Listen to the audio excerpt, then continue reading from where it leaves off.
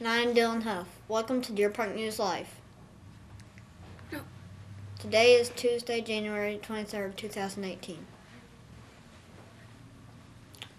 Today's lunch is the choice of chicken nuggets or crispito. We only have one birthday today. Happy Ranger birthday to Alicia Blake.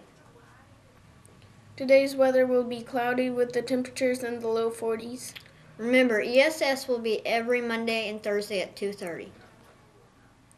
Hey Dylan, did you hear about the snowman who had a temper tantrum? No, dude, I didn't. Yeah, he had a complete meltdown. That's all for Deer Park News Live. Until tomorrow. Goodbye. Bye.